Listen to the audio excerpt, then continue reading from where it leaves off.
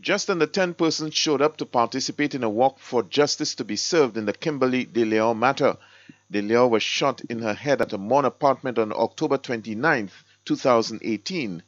Just recently, it was announced that the files are now at the DPP's office, prompting the mother of the deceased to request an audience with the DPP. I'm planning on talking to him. Kimberly's aunt is hoping that justice will be served now that the matter is in the hands of the DPP. It's in the hands of the DPP.